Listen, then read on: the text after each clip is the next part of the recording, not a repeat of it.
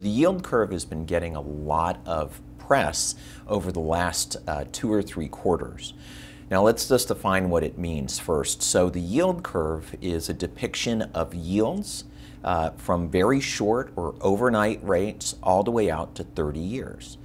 And in general, uh, a positively shaped yield curve where long rates are higher than short rates is a sign of a well-functioning economy um, where there is a profit motive through, throughout not just the, the users of capital, but the providers of capital.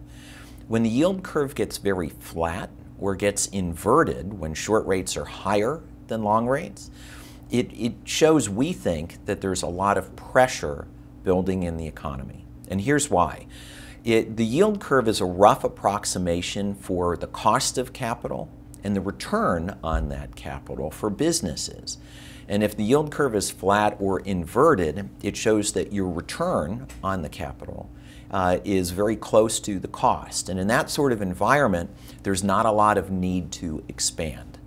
At the same time, if you are a provider of capital, so think you're a bank or an insurance company, when you are borrowing and lending off the same rate, it's very hard for financial intermediaries to make an adequate profit.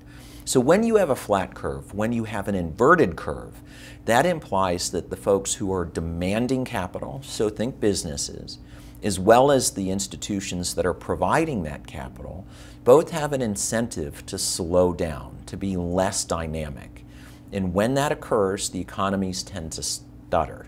Um, so again, the shape of the yield curve, it doesn't mean we have to have a recession, but it does show there's significant pressures building in the economy.